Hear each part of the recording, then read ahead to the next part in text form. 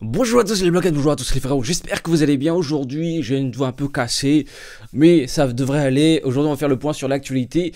Nous avons une preview de la version 4 de Dokkan Battle, alors la preview concerne que la version japonaise, euh, vu que les deux versions, globale et version Jap, sont euh, au coude à coude en termes de version, donc on peut s'attendre à ce que la version 4 arrive très prochainement sur la version globale. Donc, euh, pour l'instant, nous n'avons pas encore accès à cette mise à jour. On a un aperçu via le compte Twitter officiel de Dokkan Battle. D'ailleurs, je vous rappelle que sur la version globale, il y a une campagne euh, euh, sur l'event, comment il s'appelle, Virus dans la peau de Monaka. Donc, je vous, invite à revoir la vidéo où, enfin, où j'en parle. Et puis, dans la, description, il y a le lien vers la page Facebook pour participer à la campagne. Je compte sur vous. Hein. à chaque fois, il y, a, des DS à récupérer, donc je compte tout sur vous. J'en profite également, le petit pouce bleu maintenant, comme ça, vous êtes débarrassé et ça fait plaisir. N'oubliez pas également de vous abonner à la chaîne YouTube. Pareil. On en parle maintenant, comme ça on s'en débarrasse. Je compte sur vous, les amis. Et puis n'oubliez pas, euh, ce soir, la petite stream manche. Donc voilà, tout à l'heure. Donc, euh, preview de la, euh, version 4.0.01, je crois. Enfin, on va sur la version 4. c'est plutôt des mises à jour en termes de liens. Donc là, en fait, en haut à gauche maintenant, enfin en haut à droite, sur, euh, la fiche des personnages, vous avez un petit lien. En fait, ils ont mis pas mal de nouveaux raccourcis pour gagner du temps. J'avoue que, en fait, par moment, quand tu voulais docker un personnage, puis passer par l'arbre, etc., il fallait sortir. Bref, c'était long. On est d'accord. Là, ils ont commencé à mettre des, raccourcis. Donc maintenant, on a un raccourci qui nous permet euh, d'aller directement euh, vers la fiche d'entraînement du personnage pour le, up assez facilement. Pour éviter voilà, de changer de menu. Euh, ensuite, maintenant pareil, quand vous êtes dans, la, création de team, vous pouvez toujours aller via le bouton jaune en haut à droite, euh, accéder directement à l'arbre. Donc c'est le troisième lien tout en bas. Hyper pratique. Combien de fois j'ai créé ma team et je me suis dit, ah merde, je j'ai oublié de lui donner des, euh, des arbres.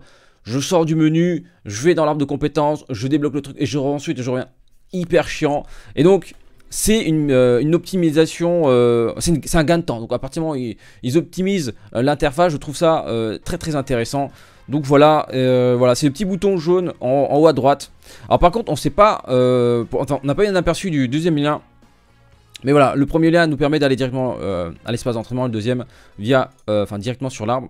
Ensuite, deuxième, enfin l'autre optimisation. Maintenant, dans la liste des Dokkan, on peut aller directement, pareil, euh, enfin il y a un, raccourci, là on, voit que... on voit que euh, voilà, il nous, faut ces médailles là pour passer euh, ce Goku, pour, pour l'éveiller ce Goku. et du coup, en fait, en cliquant sur les médailles, on va accéder directement, enfin, en cliquant sur la médaille, on arrive sur la fiche de la médaille, et ensuite, sous la médaille, là, il y a le petit bouton, vous cliquez dessus, ça va vous amener directement vers l'event, et ça, c'est pareil, c'est hyper pratique pour éviter de sortir, scroller dans la liste des events, chercher euh, l'event en question. En fait, c'est vraiment toutes ces optimisations servent pour les nouveaux joueurs, enfin même pour les anciens, pour gagner du temps. Alors ça, c'est pareil, je trouve ça très, très intéressant. Pour les gens qui ont une énorme box, que tu sois free to play, pay to play, euh, quand tu veux juste éveiller les unités que tu n'as pas encore éveillées, enfin voir la liste des unités que tu n'as pas encore éveillées, c'est compliqué. Il n'y a pas de bouton de filtre. Ça a été exaucé les amis. Maintenant on peut voir quelles sont les unités qu'on n'a pas encore éveillées. Euh, comme ça, on a à peu près une idée euh, de ce qui reste à faire, etc. C'est la bienvenue, les amis, c'est la bienvenue, euh, clairement. quand t'as beaucoup trop d'unités, tu dis, ah tiens, j'ai oublié de, l'éveiller, lui. Et puis, pareil, hein, raccourci, tu recliques dessus, paf, tu passes sur l'event. Donc, de très bonne optimisation, les amis. Moi, je trouve ça vraiment, c'est une très très bonne chose. Et, alors ça, ça, j'ai kiffé. Ça, j'ai kiffé, les amis. Euh, alors, il y a plusieurs choses. On va pouvoir créer euh, des groupes.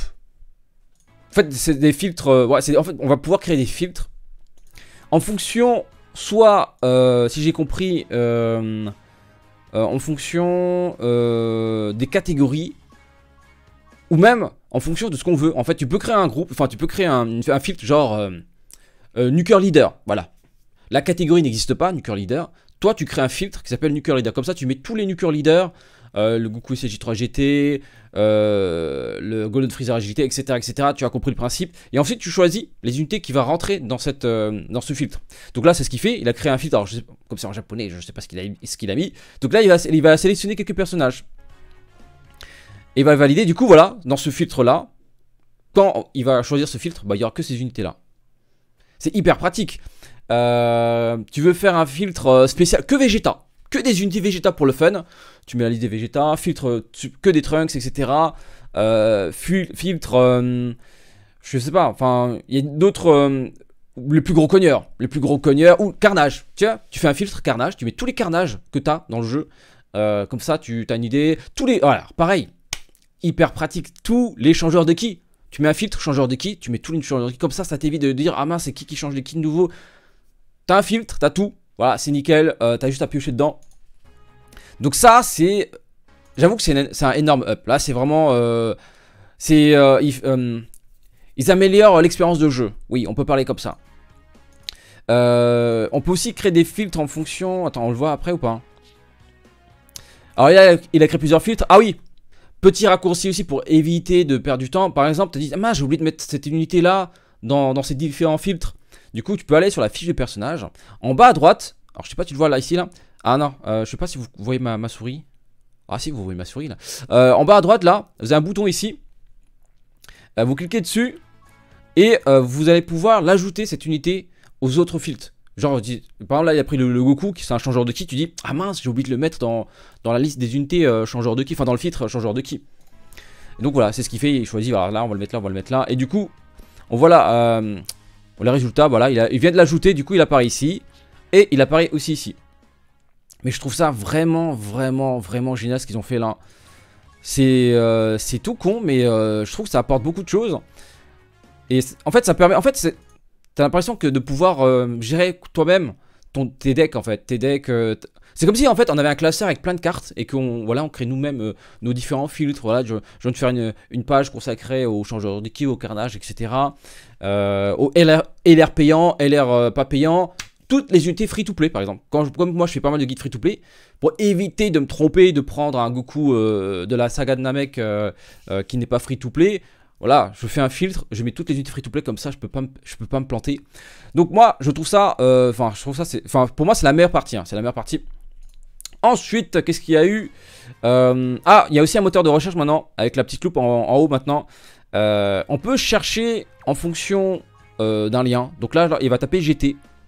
Du coup, on a un filtre automatique, on a toutes les unités qui, possèdent ce lien, donc ça c'est pratique.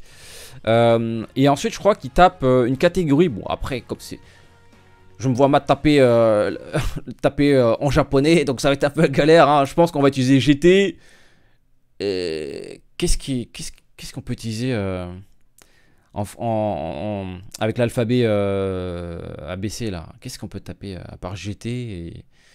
Je crois que c'est tout. Hein. Non, ça va être galère, mais bon. Non, mais c'est une bonne idée. GT, bon après, ça pousse le, voilà, ça, ça me pousser à apprendre le japonais peut-être. Donc voilà, c'est un petit truc que je trouve pas... Bon voilà, c'est pas le plus impressionnant, mais bon, je trouve que c'est une bonne... Enfin, c'est quand même une bonne chose. Filtré par rapport à un, lien, donc ça, j'avoue. Par exemple, si je veux faire une team 100% combat décisif... Voilà, je tape combat décisif. Euh, une team 100% fierté Saiyan. Enfin, je, je cherche des unités qui ont fierté Saiyan pour avoir... En fait, ça te permet, si tu veux... Euh, de rechercher facilement quelles sont les unités qui possèdent les mêmes liens. Pour éviter, par exemple, d'ouvrir une page wiki ou utiliser des sites comme Dokken Optimizer ou euh, d'autres sites qui permettent de voir quels sont, quels sont les liens qui sont actifs entre les différentes unités. Donc là, tu fais un filtre, tu as toutes les unités qui possèdent le même lien. Donc voilà. Et dernière chose, et ça, ça va, ça va faire vraiment plaisir au free-to-play. Il y a maintenant, euh, sur la page d'accueil, tu as euh, un lien qui va t'amener directement vers la liste des unités free-to-play. Et ça, les gars, pour quelqu'un qui fait des guides, un des rares dans ce bas monde à faire des guides free-to-play, ils nous ont entendus, hein, ils nous ont entendus les gars. Euh, pour les personnes qui... Parce qu'en fait, faut pas oublier que Dokkan Battle, en fait, tous les jours, il y, a des, nouveaux joueurs. On, a tendance à oublier qu'il il y a des mecs qui commencent là maintenant, là, en regardant cette vidéo, ils, viennent juste d'installer le jeu. Et tout ça, là, free to play, TUR, même quand je dis TUR, ZTR, les mecs sont perdus. Je mais qu'est-ce qu'ils racontent quoi là? Donc voilà, ça c'est cool. T'as un lien vraiment vers toutes les nouvelles unités, enfin toutes les unités free to play avec un lien vers l'event en question. Là, comme tu peux le voir dans, la démonstration, on voit le commando Ginyu. Et justement, c'est parfait. Donc, toutes les personnes qui commencent le jeu, évidemment, alors, la version 4 n'est pas encore disponible, et quand elle sera disponible, vous passez par, euh, par ce lien, enfin le, petit raccourci là, et vous allez accéder à toutes les unités qui sont farmables. Et là, on voit, il y a le... Euh, comment il s'appelle? Oh, j'ai un trou. bon, bref, Guldo et Mighty, voilà, Mighty Mask. et du coup, ça, c'est pratique. Et en plus, là, je crois que c'est par couleur. Là, c'est que du tech. C'est vraiment une très bonne chose qu'ils ont fait là pour les, les, les, gens qui débutent et surtout les joueurs qui, qui sont free to play parce que plus ça va, plus les unités free to play deviennent extrêmement puissantes. Alors je sais pas si à travers ce lien, on aura également les unités qui sont pas forcément farmables comme le VGWLR, mais ils sont gratuits. Mais est-ce que euh, on va pouvoir... En fait, j'aimerais bien avoir euh, accès à, vite fait à cette nouvelle version pour tester parce que là, on, on le voit pas se balader, etc. Donc on sait qu'il y a un raccourci. Bon, je, sais que Végétaux Bleu n'est pas farmable dans le sens où euh, c'est pas, comment dire, c'est pas un event que, que, tu vas faire plusieurs fois pour dropper les doublons, etc. Là, faut farmer les médailles, ensuite faut acheter les unités chez Baba, etc. Euh, donc voilà, je, sais pas. Donc euh, pour l'instant, on voit que les unités entre guillemets farmables. On voit pas les unités free to play, mais qui demandent euh, un autre type de farm. Mais dans tous les cas, je trouve que c'est vraiment un, c'est agréable. Après, on va faire le bilan rapidement. moi, je m'attendais à vraiment du lourd, lourd, lourd. Là, en fait, ce qu'ils ont fait, c'est plutôt de l'optimisation et ils ont amélioré l'expérience de jeu. Je trouve ça bien. C'est juste que Évidemment, hein, on voulait, euh, je sais pas moi, des nouveaux modes de jeu, euh, un système de clan, un système, euh, même un truc message in-game. voilà, c'est genre de petites choses qui, qui sont présentes dans la plupart des jeux. Hein. système de clan, voilà, ça existe. Quasiment tous les jeux qui sortent maintenant, voilà, il y a un système de clan, etc. Alors pas tous, hein, je, suis conscient, hein, il n'y a pas de système de clan, euh, mais euh, voilà, je trouve c'est un peu dommage. Alors voilà, c'est un jeu qui, date maintenant et... Euh, bah, je prends l'exemple de, Grand Fantasy, ils ont un système de chat in-game hyper pratique quand tu veux parler entre, entre, entre les membres du clan, etc. donc voilà, j'espère que c'est le début. En tout cas, ça va dans le bon sens. Après, maintenant, c'est vrai qu'on veut plus. Euh, peut-être qu'ils nous préparent des choses euh, lourdes pour, euh, pour les 4 ans, parce que mine de rien, les 4 ans, c'est dans 3 mois. Hein. On, on, est mi-novembre déjà, et les, 3 les 4 ans, pardon, c'est en février, début février.